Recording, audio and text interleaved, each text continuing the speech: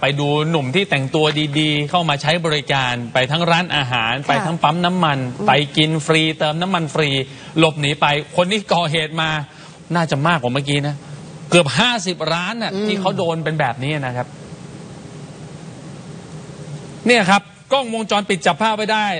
จากหลากหลายร้านค้าด้วยกันนะครับ ที่อำเภอบางกล่ำและอำเภอหาดใหญ่จังหวัดสงขลาหนุ่มคนนี้ครับ อายุประมาณสัก 25-30 ปีนะครับ แต่งตัวดี ขับรถเก๋งมาครับ สีบรอนเงินทำทีท่ามาซื้ออาหารซื้อกาแฟซื้อขนมขบเคี้ยว จากหลาย ๆ ร้านค้านะครับ รวมทั้งหลอกไปเติมน้ำมันด้วย โดยใช้อุบายแบบนี้ครับคุณผู้ชม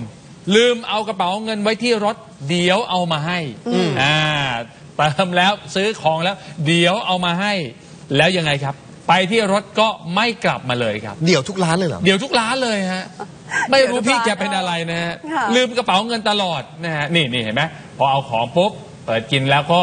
เดี๋ยวเอากลับมาให้แล้วก็ไปเลยครับชายคนนี้ก่อเหตุมาตั้งแต่ช่วงเดือนตุลาคม ปี 65 คือเมื่อปลายปีที่แล้ว ถึงมกราคมปี 66 ล่าสุดครับพ่อค้าแม่ค้าต่างให้การตรงกันเลย บอกบอกว่าผู้ก่อเหตุคนนี้แต่งตัวดีนะครับขับรถเก๋งมามีป้ายแขวนคอ คล้ายๆ กับเป็นเซลล์ขายของค่ะ อ่า แล้วก็มาก่อเหตุตอนก่อเหตุเนี่ยพูดจาดีดีๆครับ เข้ามาตีสนิท เข้ามาตีเนียนเลยก็แล้วใช้มุกเดียวกันเลยครับ ทุกร้านก็บอกเลย ลืมกระเป๋าเงินไว้ที่รถแล้วก็มีการเสียหายเนี่ย มีทั้งสินค้าหลักสิบบ้างหลักร้อยบ้างก็มีครับ ไม่ต้องใส่ถุงว่าผมหิวนะแล้วก็พูดว่าผม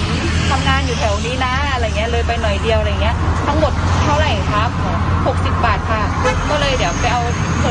ถก่อนนะ แต่ของยังวางอยู่ที่ตรงนี้ค่ะอ่าฮะ บอกไปเอาเงินที่รถก่อนแล้วก็เหมือนไปหาอะไรอย่างเงี้ยค่ะ พอกลับมาบอกว่าเท่าไหร่นะครับ60อ๋อครับครับแล้วเขาก็เอาน้ำแล้วก็ขนมแล้วก็ไปเลยค่ะ นี่ไง นี่ไง บอกไปเอาของที่รถก่อนนะครับไปเอาเงินก่อนไงอืม กลับมาเท่าไหร่นะหกสิบแล้วคว้าไปเลย ไม่จ่ายตังค์ครับ ฮะตำรวจตรวจสอบเบื้องต้นครับ คนร้ายคนนี้ผู้ก่อเหตุคือนายรัฐพงศ์อายุ 27 ปี เป็นชาวอำเภอตะโหมดจังหวัดพัทลุงนะครับ ก่อเหตุแบบนี้มาแล้วในหลายพื้นที่ทั้งสงขลาทั้งพัทลุงด้วย